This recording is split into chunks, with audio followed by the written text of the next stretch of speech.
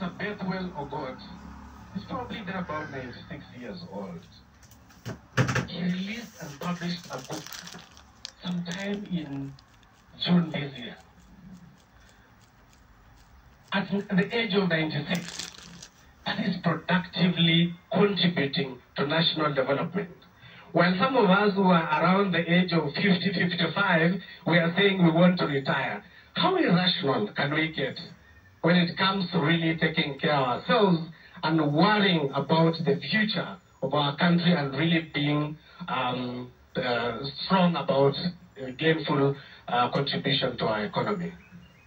Having said that, my role is really to appreciate all the partners uh, that we have here. Let's team up together.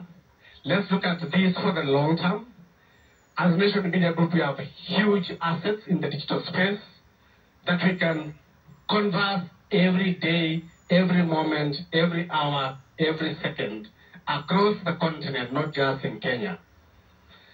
We have television station that we can have discussions around this. I was following the live TV discussions that was going on this morning. Rich insights. For a moment, I wouldn't think pension can be a very interesting topic. But I actually followed through the entire session. So there's a lot of rich content that is out here.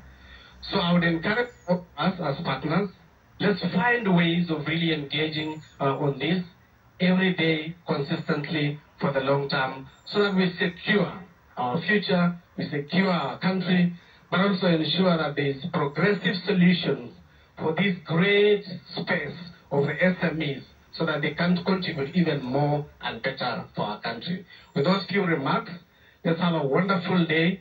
Let's enjoy the next two days. But I also want to urge our viewers who are out there um, at home, if you have an opportunity of really getting to KICC, please uh, get uh, come and see.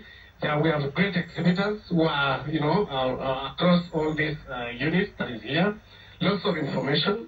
I just checked my NSSF contributions that I've been doing for the many years, and I feel embarrassed. And they told me there's something called top up.